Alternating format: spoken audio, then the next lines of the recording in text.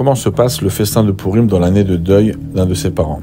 Le festin à la maison n'a aucune restriction et d'après certains décisionnaires, c'est aussi mon opinion, ils pourront même mettre de la musique. Par contre, s'ils veulent se faire inviter dans un festin en dehors de la maison ou un festin communautaire, s'ils sont ashkénazes ou chabad, ils devront ne pas y aller.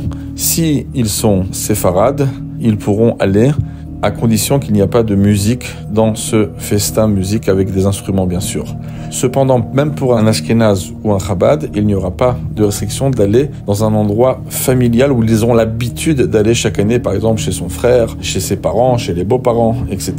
Puisque c'est une habitude, comme ça les décisionnaires disent, pour les autres mitzvot de Purim, il se doit de faire toutes les mitzvot de Purim, il peut se rendre à la synagogue pour les minyanim et l'écouter la Megillah. La seule restriction qu'il y a un petit peu, c'est par rapport à Mishloach Manot. Le Rameau nous mentionne de ne pas envoyer à l'endeuillé des Mishloach Manot, cependant on pourra envoyer à son conjoint ou à d'autres membres de la famille si c'est pas réservé particulièrement à l'endeuillé. L'endeuillé enverra le strict minimum de Mishloach Manot, puisque la mitzvah c'est un minimum de 1 Mishloach Manot, donc il enverra simplement un. Pour la coutume Chabad, on envoie minimum 3 Mishloach Manot, même pour un endeuillé. Et les commentaires disent dans le Shulchan Aruch qu'il est mieux qu'il n'envoie pas des sucreries, plutôt des choses, des aliments salés pour un petit peu le signe de son deuil.